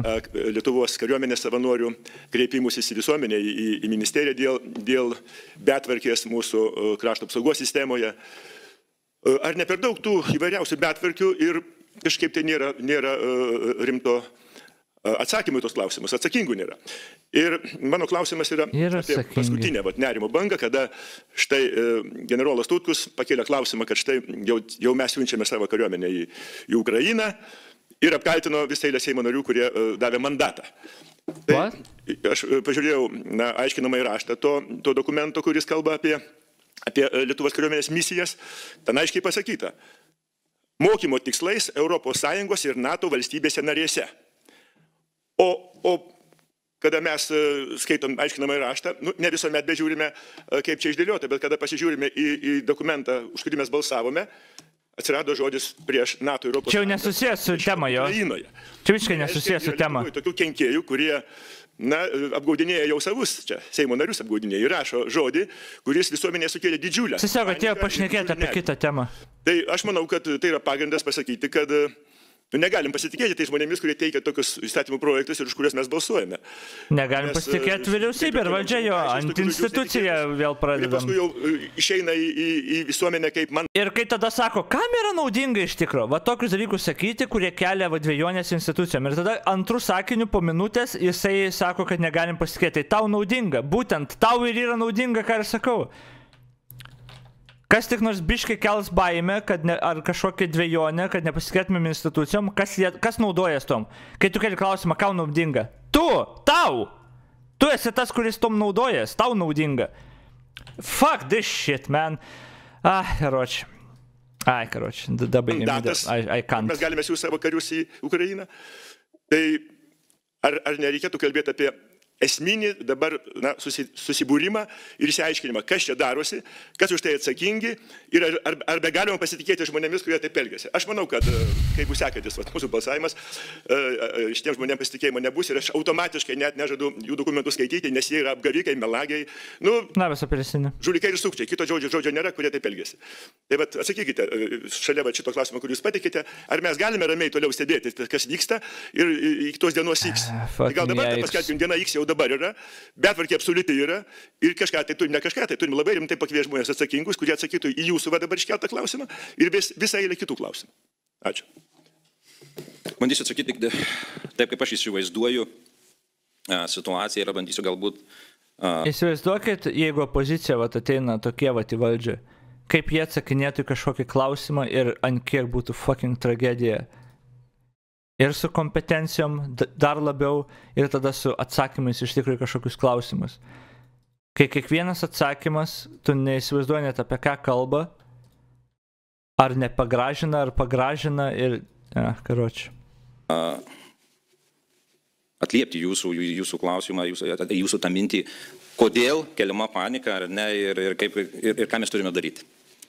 Esmė ta, kad, a, gerbiamas kolega, jūs visi matote ir suprantate, kad būtent valdantieji priėmė tam tikrą taktiką, kad dabar tais gazdinti visus žmonės karu. Ir, ir jau išėjus į viešą erdvę ir, ir tam tikrų politologų a, informaciją, kad a, būtent Gabrielius Landsbergis yra priėmęs tam tikrą sprendimą kartu su savo taryba, kad jų, jų partija per visus rinkimus, tiek prezidento, tiek Europos parlamento, tiek Seimo, gazdins visuomenę, tiksliau telks taip, jų, jie įsivaizduoja tokiu būdu, kad karas, karo grėsmė a, sutelks visuomenę ir būtent jiems tai pasitarnaus jų rinkimų kampanijos metu. Dėl to visi tokie a, pareiškimai, kurie, kaip jūs dabar sakėte, dėl galimų karių siuntimų, a, dėl galimai dėl, to, sekundėlę, dėl galimai karių siuntimo į, į Ukrainą. Irgi buvo tam, daromi tam tikri išvedžiojimai, nors akivaizdžiai tas balsavimas, kuris buvo daromas Seime, kad teikia į prezidentūrą, tęsiant tam tikrą misiją, ten buvo aiškiai nurodyta, kad tos, ta mokomoji misija Ukrainos karių galima vykdyti tik tai NATO ir ES teritorijos ribose. Ir, ir, ir, ir tai labai buvo aišku. Ir tai prezidentas vyriaušmiškai pasisakė, kad kol kas tokių dalykų net nesvarstoma ir būtent pagal tą nutarimą, kurį mes balsavom, nieko panašaus būti negali. Panikos keilimas tai yra grinai rinkiminės kampanijos strategija, tačiau aš dabar pasakiau, kad tai akivaizdus faktai, kad nors ir gazdina. Beje, nepamiršom, tą, kai jis pasakė, blėt, aš, aš net nenoriu pausinti viskas, ką sako, tiesiog bauginimas ir pritempinėjimas. Landsbergis kelia, e, gazdina tautą. Jie taigi pasakė, kad jų rinkiminė kompanija bus sutelkti tautą prieš rusus. Ai, tai kai sakai, mums reikia susivienyti ir pasiruošti, investuoti gynybą, kad apsigintumėm, jeigu ką nuo rusų, kad nepultų. Tu gazdini karų. Nu, okei, okay, viskas. Aš netikiu ne vieno žodžio, kurį tu sakai. Jeigu tu šitai pritempinėjai bet ką, jeigu tu taip gali net tokį dalyką tiesiog visiškai taip begėdiškai pritempinėti, aš visiškai net niekada tavim nepasitikėsiu. Aš tikrinsiu tada viską, ką tu sakai, viską, ką tu rodai, nes tu viską pritempinėsi tada.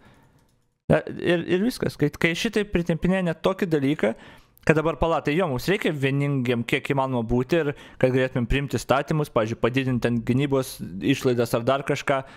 Čia nėra gazdinimas karu, bet tu gali taip interpretuoti ir pritempinėti, nu okei, okay, tą ir darai, niekas tavimi ne, ne, neturėtų tikėti. žmonės konservatoriai, bet jie nesiruošia karo. A, Vietoj to, kad imti statyti priedangos tam, tikrus, tam, e, tam tikras problemas su priedanga, tvarkyti, jie pasiruošė statyti stadioną. Aš dabar parodžiau a, visiškai apnuogintą mūsų kibernetinių su- e, tinklų arba tam tikras spragas, būtent kas yra kibernetinio saugumo strateginiuose objektuose, gal, galima ir kritinėje, a, būtent a, internetinėje erdvėje apsauga visai mūsų nuoga, be jokios apsaugos mes esame. Tai jeigu norėtų Rusija, kuri dabar mokėlė grėsmę. By the way, jo, bet viskas čia gerai. Pamirškim netgi tą hipokritiškumą, kad konserva... e, valdžia, valdantieji kelia paniką ir baimę. Kai jis atėjo ir penkias minutės kalbėjo, kad čia vyksta visiškai katastrofa, kibernetinės atakos, viskas išjungta, valstybė šatdauninta. Ir tada kelia samokslo teorijas, kad šimonytė greičiausiai galimai galbūt per greitai tos parašus rinko. Iškelkite savo klausimą, man atrodo, institucijom nereikia pasitikėti, jeigu jos taip čia dirba. O kas kelia tą paniką? Kas kelia tą baimę tada? Kas gazdina? What the fuck? Apgailėtina. Padaryti tam tikrą kibernetinę ataką ar žalą Lietuvai yra visiškai nesudėtinga. Tai jeigu mūsų valdantieji mato tam tikras problemas ar grėsmės, jie turėtų daryti investicijas į tai. Bet aš atskleidžiu jums, kad tai nieko panašaus nėra. Tas būtent pavyzdys, kas liečia rinkiminės kampanijos, ar ne, kur dabar mato programuotume, yra spragos, ar ne, ir galimai jiem kelia įtarimus, e, turėtų nedelsiai sureaguoti ir daryti patikrinimus. Jeigu viskas tvarkoja, pasakyti, kad yra tvarko, jeigu ne, a, tada imtis tam tikrų veiksmų. Bet jeigu tos pačios spragos nuo 2019 metų pasikartoja, ką tai reiškia? Panikos kėlimas, žmonėms nerimų kėlimas yra rinkiminės kampanijos strategija. Ir gerbiamas kolega greičiausiai... Tai ir tu tai tik ką padarai. Tu literai. Mainai ir išnyks. Bet kas liečia dabar, ką aš pasakiau, šitas spragas mes turime taisyti skubiai. Nes jos... Tam pačiam sakiny tada prisipažinai, kad čia rinkiminė kampanija tavo, nes tu tą darai dabar. Sakykit, prašau, ar gerbiamas Kestutis kalbės šiandien ar ne? Iš tikrųjų, aš esu čia tik tai uh, patvirtinti A, jo, rimtai. žodžius ir pataisyti, jeigu kas nors yra. Aš galėčiau atsakyti nebent į kažkokius teorinius arba informacinius Jis klausimus. nekalbėjo, bet čia Apie visus kitus turėtų kalbėti Dainis Gažauskas. Tai e, tokiu, tokiu atveju aš nežinau, klausimas turbūt abiems. Sakykit, prašau, e, e, ar tiesa yra, kad serveriai, kurie e, yra pajungti skaičiuojant Seimo, Europos parlamento, savivaldybių, prezidento rinkimus, randasi ne Lietuvoje. Tai labai, iš tiesų labai, labai skausmingas klausimas, jeigu tai yra taip tiesa. Aš tik tai uh, pasakiau informaciją, kurią man perdavė programuotojai, kad yra spragų, kuriomis gali, gali pasinaudoti. Ar tai pasinaudojo, mes nežinome. Ir jie nežino. Bet jie pasakė, kad jie mato tam tikras spragas ir tam tikri veiksmai, kurie įvyko, jie sukelia įtarimus. Ir būtent jų tų įtarimų yra. reikėtų patikrinti skubiai informaciją. Nes jeigu jau jie programuotojai tai mato ir tai sako, mes be jokios abejonės turime reaguoti. Bet dar iki kartoju, tai Be nereiškia, abejonės. kad tai yra įvykę, įsilaužimas įvykęs. Bet kad yra, aš perdodu tuos žodžius, kuriuos jie man perdavė ir aš turiu tokią pareigą pranešti. Aš gal ponui atsakysiu apie, apie kad ne Lietuvoje. Tai e, noriu, noriu tik tai pasakyti, kad e, informacijos klaida, ta prasme, ir per jūsų portalų informaciją, ta prasme, e, gali būti žalinga, jeigu aš pasakysiu taip arba ne. Nu, ta prasme, iš manęs išėjusi informacija arba paviešinta dalis informacijos gali sukelti kažkokią žalą. O ta žala, kaip man Lietuvos piliečiui asmeniškai, irgi būtų tikrai nenaudinga. Dėl to, kadangi mes jau keletą mėnesių bendradarbiavom su kibernetinio saugumo centru, akcentas. mes pateiksim jiem, jiem tą informaciją, jie turi teisę ją, ją patikrinti ir po patikrinimo mes arba turėsime teisę. Tarmė, net ne akcentas. Bet mes be jų žinios negalime nieko daryti, nes pati esmė yra, kad mes turime Lietuvą apsaugoti nuo tų grėsmių. O um, nekartą jau matę esame, kad ir paviešinimas duomenų, kaip pavyzdys buvo CTB paviešinimas duomenų, jisai sukėlė ne tai, kad žmonės susirūpino, bet tame tamsiame internete atsirado labai daug smalsuolių, kurie net pinigus mokėjo už tą informaciją gauti, kad pažiūrėti, ar koks draugų ten slaptažodis yra. Tai ta prasme mes e, viešoje erdvėje turime e, žinoti, kad e, esmė yra informuoti ne tik žiniasklaidą, bet ir pačias institucijas apie tai, kad jos turėtų daryti sprendimus. Ačiū už klausimus. Spaudos konferenciją baigėme. Nu, na, apgailėtina. Gerai, aš nežinau, kokie bepročiai ever galėtų už tokius politikus balsuoti, bet mes puikiai žinom, kokie jų yra pilna, komentaruose bus pilna, jų tiesiog yra pilna, tos visos mačiutės ir dalbajobai, kurie nesupranta nei vieno žodžio, kuris buvo pasakytas, nežino nieko apie technologijas ir tiesiog jie ir balsuos. Ir... Jie ir pritars, jie išgirdę žodžius Landsbergis blogas, iškart sakys Gaižauskas teisiausias, Šimonytė parašus renka e, su botų pagalba iš Rusijos, Sounds good enough for me. Čia bus Gaižausko balsuotojai, tai jie aišku, aišku, šoks ant to, nes jie nekenčia tų žmonių ir žinoma. Čia buvo labai labai mažai logiško dalyko, kas pasakyta buvo. Ta pasakius, spragas reikia taisyti, aš už tai, kad saugumas kibernetinis kuo didesnis būtų, bet reikia redukuoti žmonės, reikia viską tą padaryti, kad bent jau suprastų, apie ką kalba eina. O čia mes iš tikrųjų gavom žiauriai mažai informacijos, suprantama, nes greičiausiai daugas ir negali pasakyti, bet gavom labai labai daug tos baimės kelimo, gazdinimo, pritempinėjimo, demagogijos, man atrodo, tinkamas žodis, pat demagogija. Ar teisingai vartoju? pagrista manipuliavimu žmonių sam... Pripažinimo ir populiarumo siekimas apgaulė, melagingais pažadais, ai ne, biškuka. Ne, koks čia būtų. Demagogija nelabai tinka. Nežinau, nesvarbu, nesvarbu žodžiu, žodžiu. Labas. Žiūrėk, jisai prisimelavo dabar. Jisai žiauriai išlikščiai prisimelavo. Tai yra, jisai pareiškia, kad jungiantis per VRK, tada tipo atsiranda kredito unijos, kurios ale kažkokias klaidas turi, bet tu jeigu jungiesi iš bet kokio produkto per valdžios vartus, tu turi tas pačias unijas. Ta prasme, šuos apskritai bando pusbrūblą iš nieko, tipo, kad jeigu VRK, tai va tenais kažkokios saugumo spragos paliktos, nes tik per ten galima apsiūjami unijomis kažkokiamis kredito jungtis. Nifiga taip nėra, ta prasme, tu gali pats pasibandyti. Jungiesi per bet kur ir tipo, ir vis tiek tas elektroninės valdžios vartai veikia identiškas puslapis būna, ta prasme, identiškos sistemos autorizuotos ir apskritai klėdėsiai, kad ten pufint kažką ten galima panašiai, čia toks, nu, aš net nežinau, tipo, net kokio turi būti žmogui šiaip iš esmės statuso politinio, kad tokius kredits iškalbėti po Smart ID, mobilus parašas, ta prasme, pavyzdžiui, SIM kortelė turi savo raktus M parašo atveju ir ta prasme, tu negali tų sertifikatų paimti, kažkaip nukopijuoti kažką ten kažką, nes ten e, kiekvieną kartą gaunat užklausas generuojami raktai pagal tuos sertifikatus kortelėje M parašo, tai yra Smart ID atveju irgi tas pats. Tarsi čia nėra taip, kad kažką nukopijavai ir taip, o ir va turi, nu nieko panašaus, čia ta prasme, net, net neaišku, ko beisinti jo šitie yra kleimai, kad, tipo, kad aš tau galiu... paėmėm ir pakopijavom viską. Žiūrėk, aš iškelsiu tau. Žiūrėk, aš papasakosiu e, galimą variantą ir tada ar atitiktų jo apibūdinimas, pavyzdžiui, techniškai. Įsivaizduok dabar šitaip, ne, yra, yra VRK, ser, e, VRK svetainiai, yra kažkoks bugas su, nežinau, JSON failu, kur laikoma ten kažkokia informacija. Okay? Nu ir kad, tipo, užkrauna svetainę, iš JSON paima skaičiukus, jos neteisingai, žinai, parodo vienoje vietoje. Tai yra bugas, ne? Tada, tai va tada jisai gali sakyti, VRK pasakė, kad pas juos yra klaidų. Ir tada, kai, kai jis pasakė, o kai jungiatės ten, nu, prie VRK, yra ten daug tų visokių sistemų ir pro Svetbanką galima jungtis, nu, autentifikuoti ir viską. Ir kaip jis pasakė, galimai ten yra spragų kaip apeiti. Tai dabar techniškai jis nepasakė visiškai nieko. Tik kad VRK turi klaidų, kurios gali būti, sakau, vat, bugas visiškas, o tada pasakė, galimai galima autentifikaciją praeiti. Kas yra čia, nu, čia nieko tu nepasakai. Tai jo.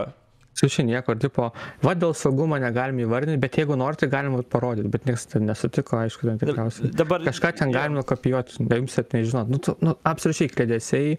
Nu, oh my god, ten kiek blogai, nu, tipo, aš nežiūriu tokių konferencijų ir aš dabar suprantu, kodėl aš niekad jų nenoriu daugiau žiūrėti, nes, nu, čia yra baisu, aš nežinau, kaip tu turi tiek kantrybės. Aš pirmą kartą, išgirdau opozicijos e, dėl energetikos vieną spaudos konferenciją, kur jinai e, ten opozicijos partijos spaudos konferenciją darė, maždaug kaip spręsti reikia, valdantieji nesprendžia problemos maždaug, ar ten kažkaip ne, nežino, ką daryti ir mes pasiūlysim.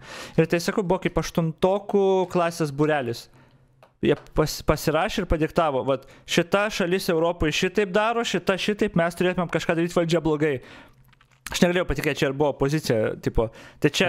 Klaus. Taip pat tu, tu turi tokį įrankį, kad tarkim net kažkokiu būdu tu ant tiek už, užbyfinai ten kažkokie hakeriai, tu nulaužė čia mm. beleka, beleka, seni, belekaip. Ir tu tokį įrankį turėdamas, kur tu, tu gali realiai būti Lietuvos mastus tepakonis kubu prasinešt gali, tu ten dedi parašą šimonytį, kur iš esmės tie parašai nieko net nereiškia galų gale.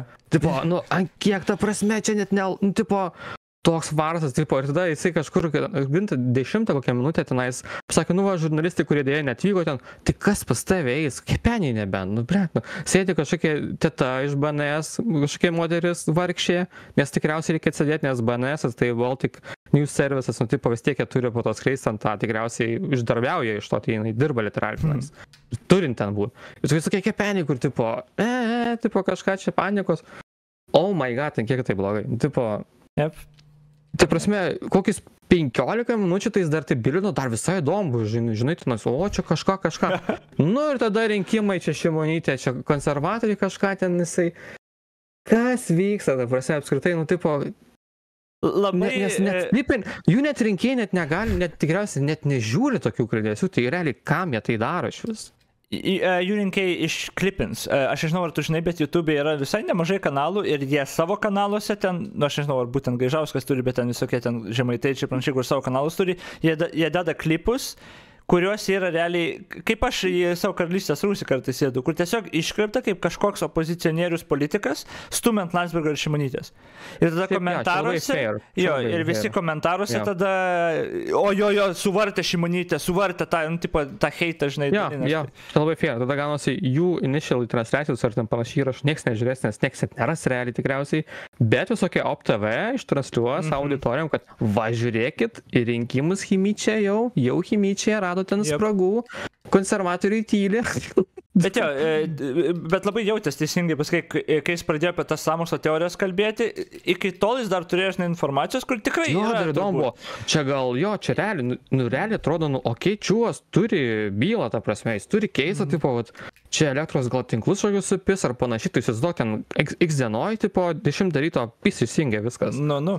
Nu, tai čia būtų omega tragedija, nu, tipo, tu net realiai negali net benzino degalinėje įsipilti, nes realiai pompas neveikia, o tipo, elektros nėra. Jep. Tipo, kiek tai būtų žiauru, tipo.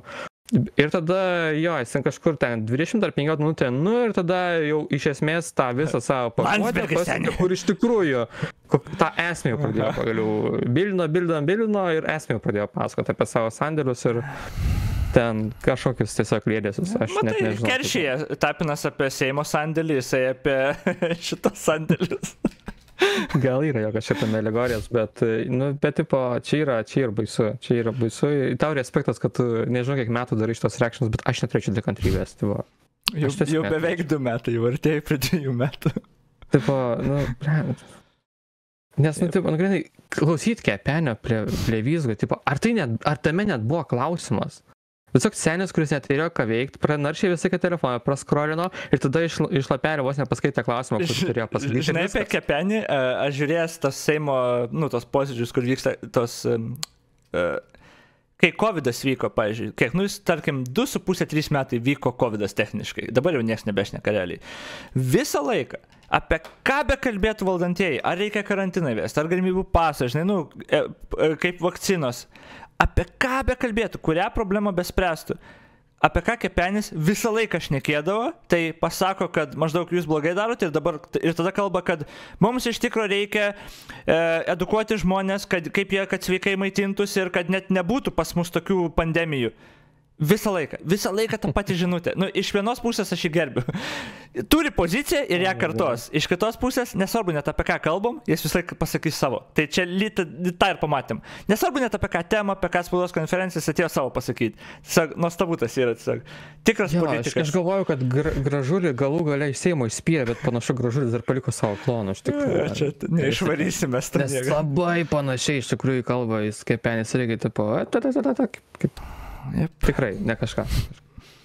O tas Cambridge'o analitika tai buvo apie tai, kad per kvizus ir per duomenų lygus, aprašau, ten didelė buvo fizikos spraga ir buvo apie tai, kad e, kaip pažinti rinkėjus ir kuos labiausiai juos į, kaip sakyt, konfrontuoja tarpusavį nuomonės ties kokiais klausimais ir tada tai naudojant dėti daug fake accountų, grupės, mm. žmonės įtraukti diskusijas ir tiesiog kiršint tarpusavį daryti kuo didesnį širšų lizdą ir, nu, ir baigėsi kulminacija, bent jau kas panašu, kad baigėsi kapitolijumi, nes viso to pradas iš tikrųjų buvo fake e, dar 16, prieš 16 rinkimus e, grupės, dafiga fake accountų ir panašiai, kad tiesiog kiršint žmonės, kad būtų kuo didesnis šaršalas ir visi galvotų, o čia reptilionai užėmė valdžią. Tai prasme, kad apskritai būtų žmonės įsielektrinę ir kad būtų pagrindas siejamas, ką dabar Gaižauskas panašu darė labai panašiai. Tai yra konferencija, apie kur daug paperdė į mikrofoną, bet iš esmės duoda pagrindą kažkokiam tolesniam spekulacijom, bet nes kažkodėl šimonytė, tai prasme, bikos šimonytė, nu tipo,